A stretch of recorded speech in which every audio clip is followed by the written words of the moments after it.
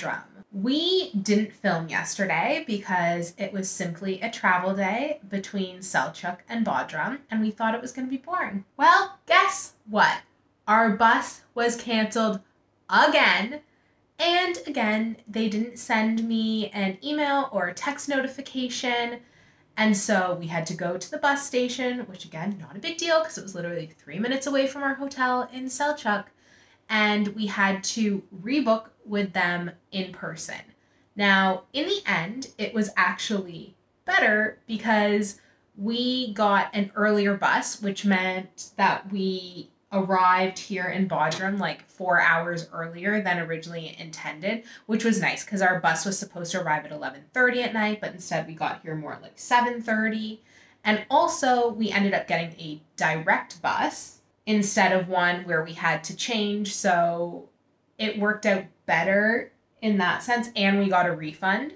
But just another part of travel that people don't often talk about is that apparently buses get canceled quite frequently, so you need to be flexible and changing your plans. However, you say direct. It wasn't quite direct though. So it turns out that the actual major bus station for Bodrum is about a 15 minute drive outside of the city. What they actually end up doing if you want to get into actual Bodrum, the city itself, is to get a minibus. We had no idea, but thankfully there was a very helpful guy called Andre who took it upon himself to help us out, directed us there.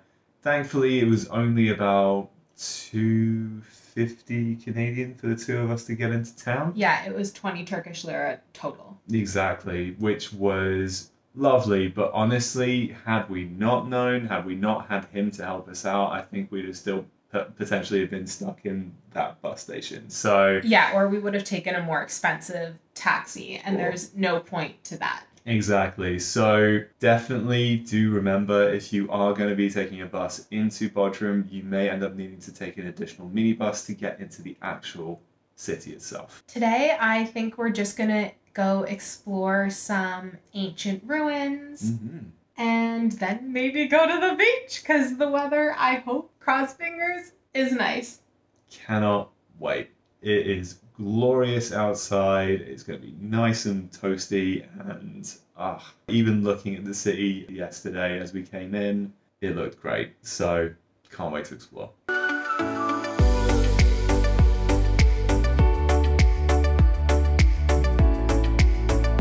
We haven't made it too far from our hotel since we left this morning, but we came across a really cute cafe that it seemed like a lot of locals were sitting at and we decided to order a Turkish coffee.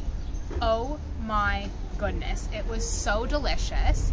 Turkish coffee is kind of like thicker and they leave the very finely ground coffee beans at the bottom so you don't end up actually drinking the entire cup but it's mixed with a bunch of spices like cardamom and some others that I can't really pronounce and it's just so flavorful and feels like it's giving you a warm hug on a fall day.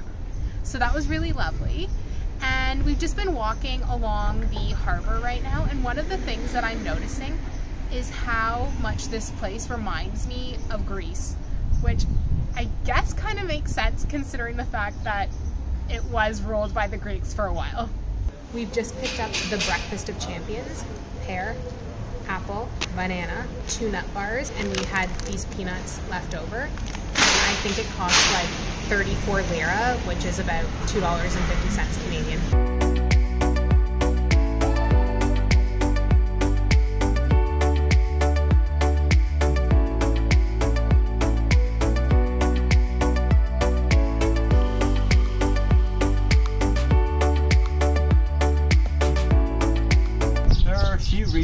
Why we decided to come to Bodrum as part of our Turkish itinerary.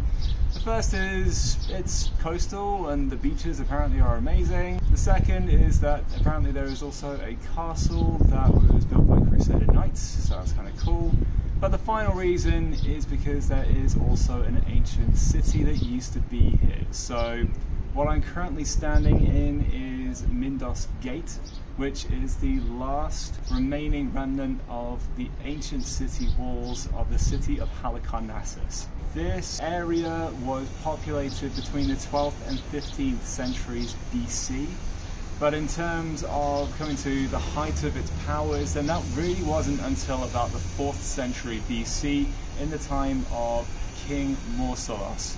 In that time, he didn't just build another building that we're going to talk about in a bit, but also he built city walls and ramparts and this gate, as well as several other gates, which would then not be conquered until the time of Alexander the Great in 333 BC.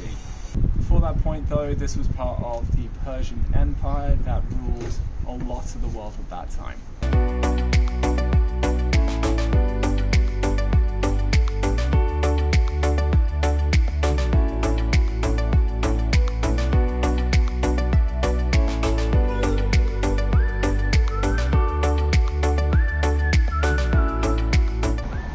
Sat in right now, as I'm sure you probably guessed, is a theatre.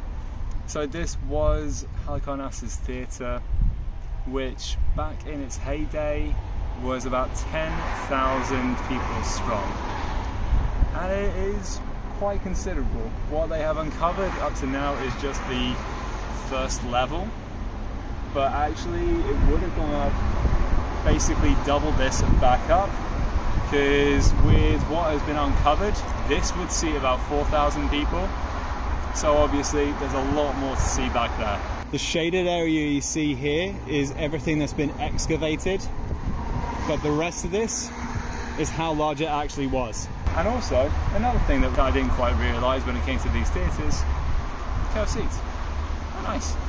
Another awesome thing which we haven't seen in pretty much every other archaeological site that we've gone to so far is the gate this free.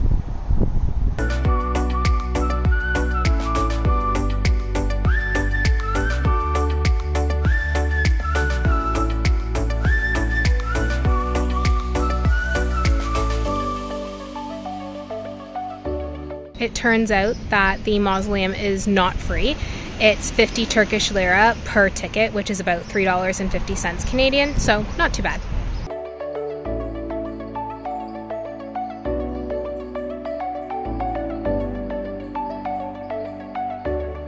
So we are currently standing in what was known back then as the Tomb of Mausolus. It eventually became known as the Mausoleum of Halicarnassus, which is another of the seven ancient wonders of the world. If you didn't see the video that we took in Ephesus, there are seven of them. Two are here in Turkey, this is the second. There are two in Egypt, two in Greece, and one in Iraq, which unfortunately, due to politics and things, I don't think we'll ever visit, but hopefully we'll get to see some of the rest of them during our travels. This structure was a tomb to the king Mausolus of Halicarnassus, who was very highly revered. He built a lot of the structures that we've already seen, including the city gates and the city walls that then helped to defend them against the likes of Alexander the Great's armies for quite some time. Upon his death, then they decided to erect this particular tomb. And pretty much all of this back in the day would have been below ground. So this would have been the burial chamber just here, but literally everything else on top of that was just a brick structure. So imagine 45 meters worth of brick upon brick upon brick upon brick, and then add some columns, about 400 different statues, and then you start to understand the grandeur of this place. This was so big that everybody understood just how magnificent this was because that list of seven ancient wonders of the world was made back in Roman times, I believe. So, with that, then it's just again another awesome thing to be here. It was because of the king's name, Mausolus, that actually this ended up being called the mausoleum. And mausoleum, even to this day, is the definition of an above ground tomb. So clearly, the impact of this building has spanned millennia. When was this building built? Was it like between the 3rd and 4th century BC. right? It would have been still standing had it not been for a series of different earthquakes between the 12th and 15th century AD. So it had had a pretty good run up until that point, but obviously nature's kind of powerful. So that's what ended up putting pay to this. It's about one o'clock, and we just got back to our hotel after a morning of sightseeing. But we are now going to go enjoy the beach, and we're going to take the GoPro. So if the footage looks different or it's really bad because I don't know how to use it, that's why.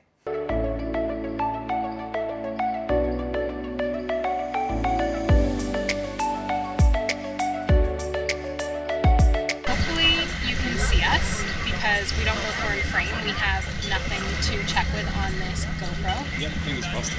We are at Bodrum Beach and we had a little picnic for lunch. And then we've just been tanning and I've been listening to an amazing book on Audible. It is a love story and it takes place in Toronto and Barry's Bay. So I really loved it. I just finished it. I don't know what it's called or who the author is, but I'll figure it out. We can link it below. Meanwhile, I'm not generally a big podcast person. I tend to kind of switch off after a little bit of time if it's just somebody talking at me. But I've made one exception. I am a big fan of the show Scrubs, and there is a rewatch podcast by Zach Braff and Faison, which is the Fake Bosses Real Friends podcast, and it is awesome. I'm about halfway through all the episodes I've so far, and I'm still loving it. So, yeah, that's definitely my recommendation. But it's getting pretty hot, so we're gonna go in the water, go for a swim. Woohoo! Let's hope the water's not too cold.